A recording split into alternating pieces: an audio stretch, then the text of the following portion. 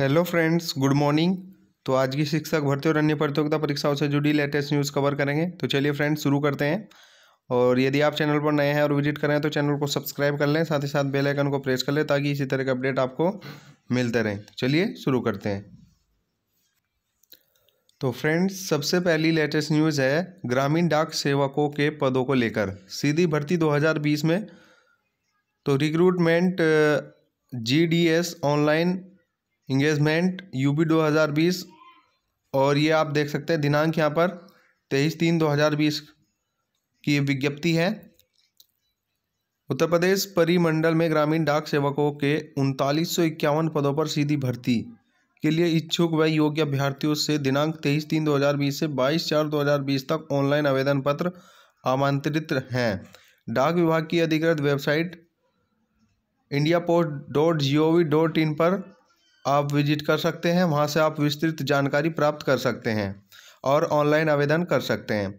भर्ती प्रक्रिया पूर्णतः गोपनीय एवं मेरिट पर आधारित है। अभ्यर्थियों का चयन सॉफ्टवेयर के माध्यम से स्वयंचलित ढंग से किया जाएगा। इसमें किसी भी प्रकार का माननीय हस्तक्षेप नहीं होगा। इस संबंध में अभ्यर्थी से फ़ोन कॉल से संपर्क नहीं किया जाएगा। तो फ्रेंड्स, ये भर्ती निकली है। उनतालीस सौ पद हैं तो आप इसमें आवेदन कर सकते हैं, ठीक है?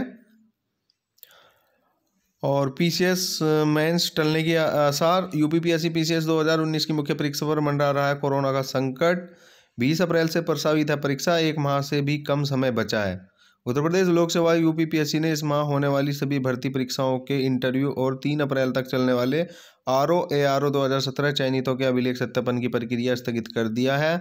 इसके बाद अगली परीक्षा बीस अप्रैल को प्रस्तावित है, जिस पर कोरोना संकट बनकर मंडरा रहा है।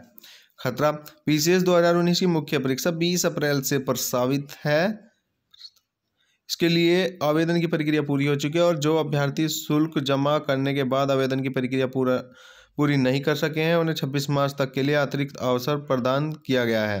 उत्तर प्रदेश लोक सेवा आयोग के सामने अब सबसे बड़ी चुनौती पीसीएस मेंस का निर्धारित तिथि पर आयोजन कराना है। उम्मीद अब कम रह गई है। पाँच सौ उनतीस पदों पर भर्ती के लिए पीसीएस की प्रारंभिक परीक्षा पिछले साल पंद्रह दिसंबर को आयोजित की गई थी। मुख्य परीक्षा समय से कराई जा सके, इसके लिए आयोग ने प्रारंभिक परीक्षा के दो माह बाद सत्रह फरवरी को रिज़ल्ट जारी कर दिया था।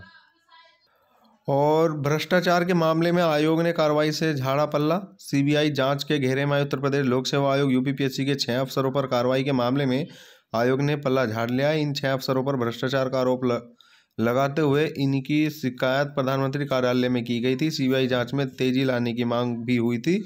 आयोग ने पत्र के माध्यम से शिकायतकर्ता को जवाब दिया है कि आयोग के स्तर में कोई कार्रवाई अपक्षेपित नहीं है। उत्तर प्रदेश लोक सेवा आयोग की परीक्षाओं की सीबीआई जाँच शुरू हुई है।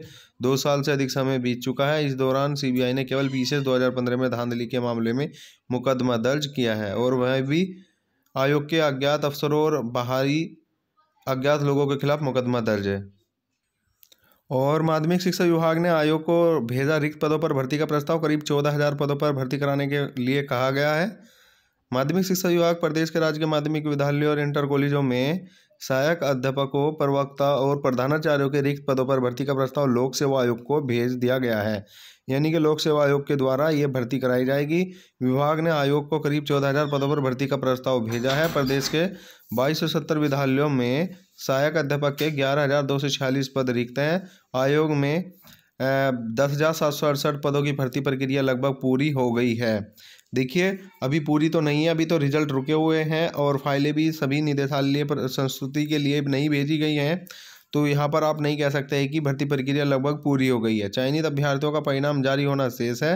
विभाग में दीनदयाल इंटर कॉलेजों में शिक्षकों के रिक्त चार सौ सत्तावन पदों पर सहायक अध्यापक भर्ती का प्रस्ताव भी आयोग को भेजा गया है।